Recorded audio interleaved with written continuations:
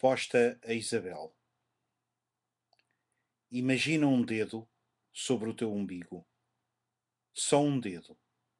Só o teu umbigo. Imagina as raízes entrando intempestivamente na terra.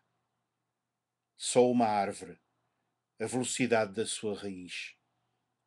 E vê agora o teu umbigo branco, como está rodeado por uma auréola de terra castanha e os pequenos pelos de uma raiz, como se aproximam velozmente. Era assim, de tão poucas coisas, que a ciência antiga da ervanária se fazia, e ensinava a aspirar todos os sopros bons da floresta.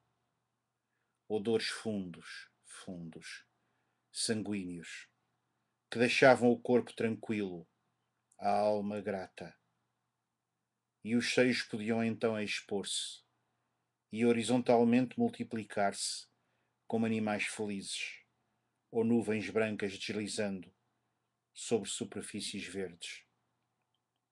Em movimento lento, lentíssimo, de festa natural.